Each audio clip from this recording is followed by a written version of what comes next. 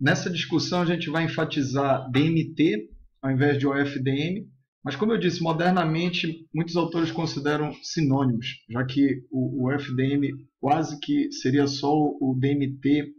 é, convertido para uma frequência mais alta.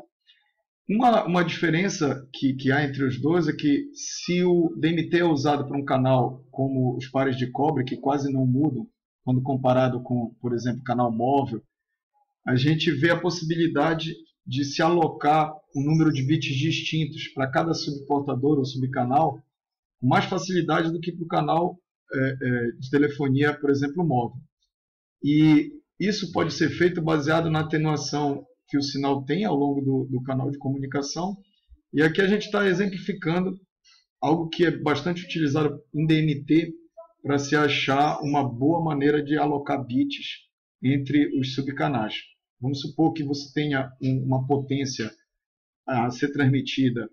que é a mesma em, em cada um dos subcanais, mas aí, como o ganho do canal é diferente, tipicamente, por exemplo, em pares de cobres ele vai diminuindo com a frequência, então uma frequência maior o ganho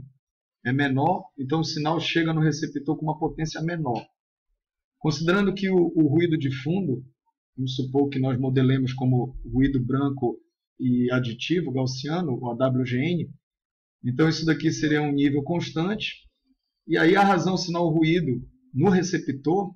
né, medindo a diferença entre a potência recebida, né, se estiver em dB, subtraindo pela potência do ruído em cada uma delas, essa razão sinal ruído ela é distinta, sendo maior onde o ganho do canal foi maior e menor que nas outras frequências. Então isso pode ser utilizado para se fazer uma alocação de bits entre as nossas subportadoras.